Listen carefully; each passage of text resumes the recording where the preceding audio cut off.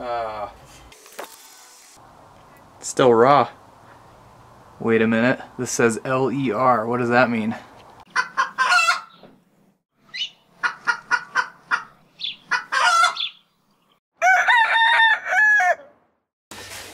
Hey guys, retired at 40.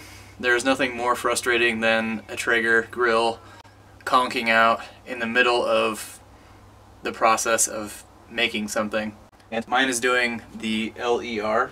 It's basically a safety precaution if your grill does not reach 125 degrees within 10 consecutive minutes, it will shut off automatically. This LER code is really common if you're doing a low and slow smoke.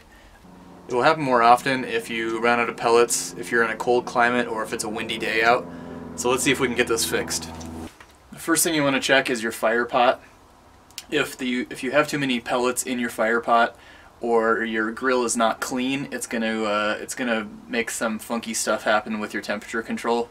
I know mine is good because I just cleaned my grill before I started this and it uh, did an error. So step one is check your fire pot and make sure it's clean and not overloaded with pellets. The second thing that can be wrong is your heat, your sensor or your grill can just be too cold. So if it's a cold day out, you just need to heat up your grill. You can do that with a space heater or something like that, or you can just uh, try it in the garage maybe. Uh, as you can see, this is not the case. It's a beautiful Colorado day here, and it is not too cold for my grill, I can guarantee you. Alright, the last thing you can do is adjust your P setting. And the P setting basically just tells the auger when to put more pellets into the fire pot. Um, if you're running too hot or too cold or having trouble maintaining temperature, you can adjust this P setting. The newer models do not have a manual adjusted P setting.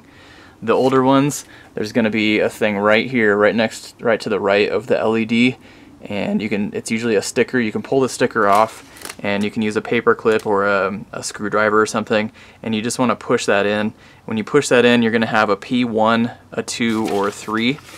And basically the higher P setting, the cooler it's going to run. Uh, the lower P setting, the hotter it's going to run. So hopefully one of these three options helped you get it working. To reset it, all you need to do, just turn the grill off and turn it back on. That will automatically reset everything and go to smoke just like you were starting it up when you were first starting a cycle. So my problem ended up being that there was just too much uh, dust, sawdust, in the bag that I bought. So it looks like this bag has probably been sitting for a while and it may have gotten wet.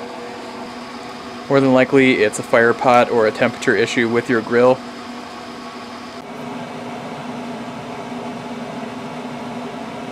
Alright, there we go. I'm back in business.